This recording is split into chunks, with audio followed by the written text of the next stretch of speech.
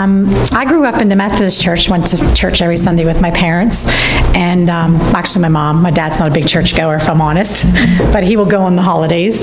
Um, But today is the first day of Advent, and sometimes they've, like in my church growing up, they had an Advent candle in the church, and they would light a candle every Sunday, and that candle represented something. And if my memory serves me right, today had to do with hope. So we want to hope and be prepared for the coming of Jesus back again someday. And with Advent, Advent's preparing you for Christmas and Him returning. So we celebrate Advent the four Sundays before Christmas, and today is actually the first Sunday.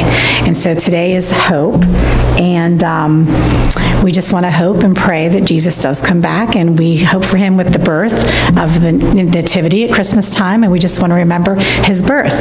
And so we want to be prepared for that. So I want you to think about today as being the first day of Advent, and hope is a special word. So if you guys can think about that throughout the day, um, that's my talk for today. Sorry, but that's from memory. You guys have a good day, okay? All right.